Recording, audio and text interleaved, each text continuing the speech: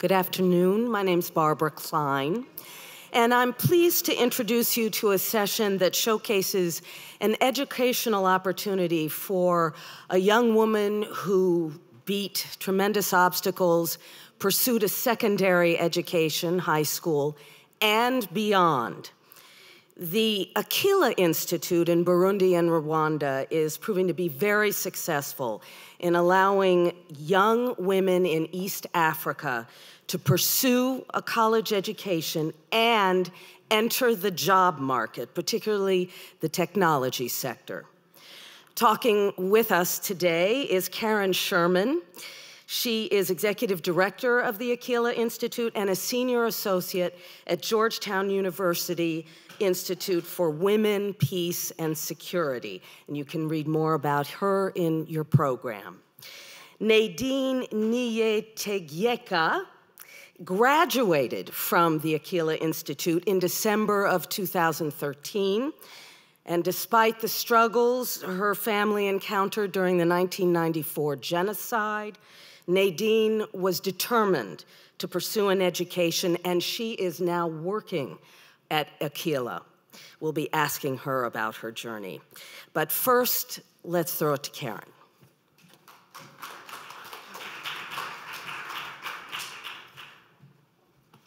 Good afternoon, everybody. Thank you for having me here today. We're so pleased to be able to introduce you to the Akilah Institute for Women. Uh, like all good presenters, I'm going to show you a brief video first, so stay tuned. If I can do this. When you look at me, what do you see? I'm not just a girl, I'm a woman. I'm a woman. I'm not just a woman, I'm the future. I'm the future. I'm your future. I'm our future. I'm the future of Rwanda. Imagine changing A whole country in Africa. Imagine changing the whole world simply by investing in me. by believing in me. By believing in me. By believing in me. When you invest in Akilah, You invest directly to my education, When you invest in Akilah, I receive the right education. the right education. An education relevant to the job market. An education that makes me stronger. and education that makes me a leader. An education that teaches me I'm not just a job seeker, I am a job creator. I will start my own business. My own business. A business that employs others. So now I can give back. I can help my community I can teach others to believe in themselves the same way you believed in me. You believed in me. You believed in me. and they can teach others what they have learned. Together we give back to Africa. And together we can change the world. When you invest in Akilah, Anything is possible. When you believe in me, watch the change I can make. Thank you. Thank you. Thank you. Asante. Murakoze cyane. Neya nziza. Thank you. Yay. It's interesting. I feel like I'm, I feel like the voice of hope, but we've been talking a lot today about what's wrong with girls' education and what's not working. And I'd like to share, I think, something that's actually working. So um, bear with me as I introduce you to the organization. Um, Akilah was started in 2010 by a woman by the name of Elizabeth Dearborn Hughes. Uh, she learned about the genocide in Rwanda while she was in college at Vanderbilt University and moved there right out of college, determined to make a difference in the world. What that difference was, she wasn't sure. Um, and she spent a lot of time on the ground, almost two years, looking at different types of program opportunities. And where she landed ultimately was girls' education.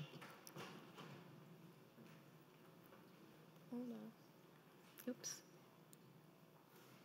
Sorry.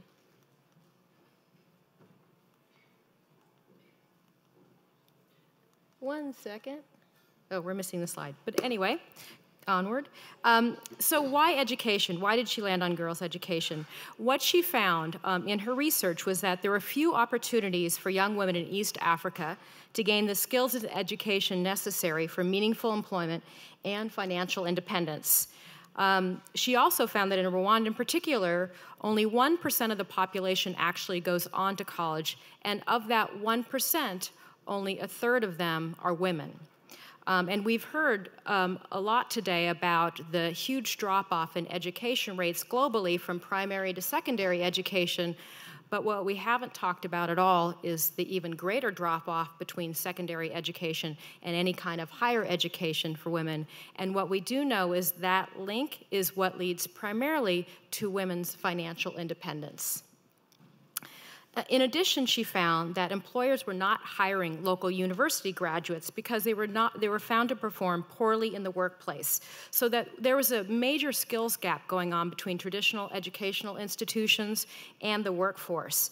And we're not just talking about uh, hard skills like technical skills, but soft skills that employers were asking for, skills like critical thinking and initiative and leadership. And yet, we know that for uh, every year of schooling that a woman is able to participate in, it boosts, it, it boosts her wages by 10 to 20 percent and also positively correlates with a country's economic growth. And every year of schooling also translates into greater confidence for women and young girls and also for higher aspirations. And we know from all of the work and all the data, and No Ceilings has been great about putting forth that data, that when you invest in women, there is a huge multiplier effect because they invest in the health, education, and nutrition of their families. So, Akilah's answer to all this was to create a college for women, the first and only college for women in East Africa, one that directly connects education to the workforce. So the mission is clear um, to build a college uh, which is a unique model of market driven education that empowers graduates for success in careers and leadership roles. And the vision really is to create a network of campuses across East Africa and actually globally where women able, are able to rise to their fullest potential and contribute in a variety of ways, both professionally and as leaders in their economies and their societies. So we offer three different diploma programs, and it's a three year program. Um, all the students who go into the program participate in a foundation year. They come from different secondary schools. Uh, so, this foundation year is like a great equalizer in the sense that all the students get access to English skills, uh, public speaking skills, leadership courses, basic math, just to make sure that they're ready to participate in the diploma program and then these diploma programs were selected to align with the fastest growing sectors in the East African economy. Because what we really wanted to do was make sure that once they graduated, they would be able to have jobs. So, information systems, entrepreneurship, and hospitality management. Um, and you can see um, we have grown dramatically. When we first started in 2010, we had 50 students, and now we have 550 students, and the demand is growing. Last year, we had 150 slots for, for the campuses, and we received uh, 1,500 applications. So there's a huge pent up demand for this program. So, how does our program differ a little bit from the traditional universities? Really, um, in, a, in, a, couple of major ways. What we focus on is critical thinking, um, making sure that students are able to actually um, practice what they're learning in a hands on, group based atmosphere, that they're able to wrestle with real problems, that they're able to take feedback, that they're able to engage with their colleagues um, within their classroom and as well as with their teachers, the faculty, um, and that there's a dialogue process. The way traditional universities work in most um, East African countries is rote memorization, um, where you're taught to listen but not question. And what happens is when you transition to the workforce, that's exactly what you get. So it, it may work for getting good grades, but doesn't make for particularly good employees. So the other um, important feature of the program is that we emphasize social change. So every girl that goes through the program participates in a social change project because it isn't just about building the skills, hard and soft skills for students, but it's also about building character um, and building leadership skills and a sense of responsibility to themselves, to their fellow students, and then back to their respective communities. And so some of the social change projects um, have varied. Um, it may be starting a nutrition campaign in their various communities, dealing with sexual and domestic based violence, raising these issues in families and communities where they've come from, um, all, all sorts of different types of projects. And it's really up to the girls to decide what makes sense for their particular circumstances. And just as an aside, 68% of the students that come to Akilah are from rural areas. So it isn't just an urban-based program. So these girls are going back into their communities and transmitting these messages um, and, and empowering, frankly, their whole families and communities in the process. The other piece is that uh, we think it's very important that there's a, we've created a safe and nurturing environment on campus for students to both learn and thrive. And so um, almost all the students are genocide survivors. Um, a lot of them have lost uh, at least one parent to genocide. Um, some of them are, are orphans. Um, and so we do a lot of on-campus counseling that is available for all the students to make sure that they have um, a safe, a productive, and a healthy experience on campus. So we've just celebrated our fifth anniversary um, and just wanted to talk about um, some key impacts to date. One is um, a 90% job placement rate. So for all of the students that, yeah, thank you. That's worth celebrating, right? So 90% of the girls who graduate from the Keela Institute get jobs, and not just jobs. Um, our students earn on average five times the national in, average income in their countries five times the national income of their countries. For the three year program, the girls who graduate are transported directly into the middle class by virtue of, of this program.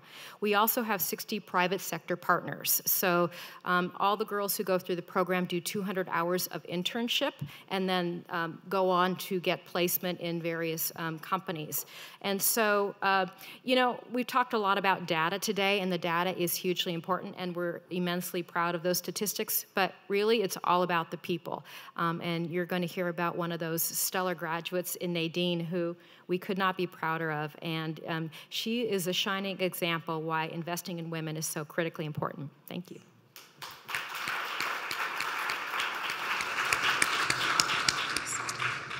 So let's hear Nadine's story. And Nadine, if it's okay, I'd like to back up a little bit before you got to Akilah and that is you went to secondary school, high school, at a, time, at, at, a time when your country was just torn apart by the 1994 genocide. What made you decide to pursue an education, to have the hope uh, and the motivation to go through that? Uh, I mean, it wasn't really easy for me, but I thought it was the only way that I can change my life and change my society, also help other girls who could have had the same challenges I had. I grew up in a very, very uh, hard life because I, I was raised by a single mother with three siblings, no job, didn't have uh, a diploma, even like a high school diploma, so it was really hard. She had just like very temporary jobs to raise us, and so things were really hard. I remember there were times when I didn't have a meal for even a day or two. And I had to make like an hour and 30 minutes to and from school every day. So I remember once my mom was so nervous, was like, Nadine, I really want you to go to school, but I feel so worried. I don't want anyone to find you lying on the side of the street because you had fainted. I don't think you can be able to do this. Maybe you can wait and God will help us, we have a better life, you can continue and go to school. But I looked in her eyes and I was like, Mom, I think I'm gonna make it. I, we have to try and uh, keep doing this. And luckily enough, I didn't really faint on the street. I managed to graduate from high school. So, but I think I had this like, strong desire, desire inside me. And um, looking at my mother failing to give us the basic needs, of course, not her mistake. It was because of different reasons, uh, history and uh, all that. But I didn't want to be the same mother who would fail to provide for my family. I think that's what made me. And you believed that education was the way to do that, even though you were a girl? Yes, I believe that the education was the only thing to do that because I could see other people in my community who are really respected enough and uh, important people. And there was other reasons like um, linked to that, being being uh, exposed to the genocide. As you know, my country has, is one of the countries which has really uh, experienced one of the big atrocity, genocide, which happened in 1994, which killed almost one million people. So there was like all these problems, extreme, extreme poverty, lack of, of uh, uh, opportunities and conflicts, all that. So I really thought education was the only way to do that. So, how did you hear about Akilah? Uh, I'm not sure if I have uh, enough time to tell about this story, but I will try to be as brief as I can. Um, after graduating from high school, I had uh, a small job in a grocery store, and one of my, uh, my boss had about was a, he was a student at the University of Rwanda, and he had a presentation about Akilah. But he immediately thought about me. He came to me and was like, Nadine, I heard about a college that is coming to Rwanda. I think you can really be able to go to this college. And at that time, I couldn't speak any English, believe me or not. I was like, how am I going to do this? Because I don't speak any English, and this college is teaching in English. I have to do an interview. And she's like, I've been really observing you. I think you have potential in you. Just give it a try. I went there and um, I applied as Akilah. I did an interview. Luckily, I was admitted in 2011 in hospitality management. Yeah.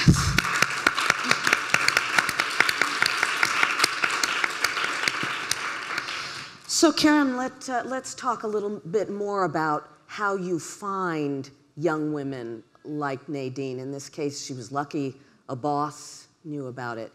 But what do you do to reach out and recruit?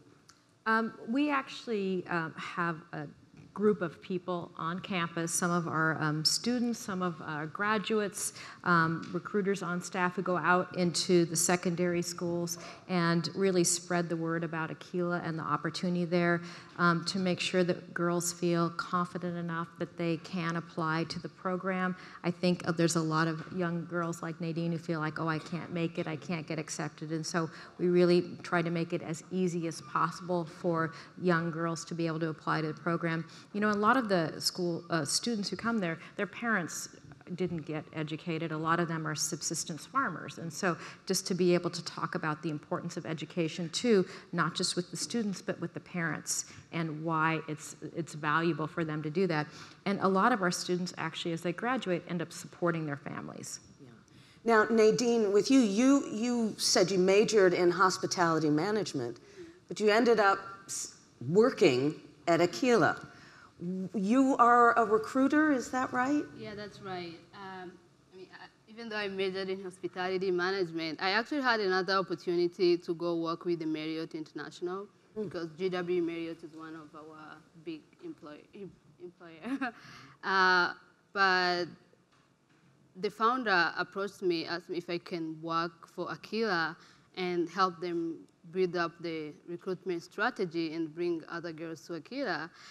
I was like, yeah, I think this is the biggest opportunity I have to really help other girls within my community to get to, to come to college and uh, share with them my story and tell them that they can do it, they can achieve all that I've achieved. So now I'm doing a tour in the whole country, talking to high schools, telling other girls to come to Akilah.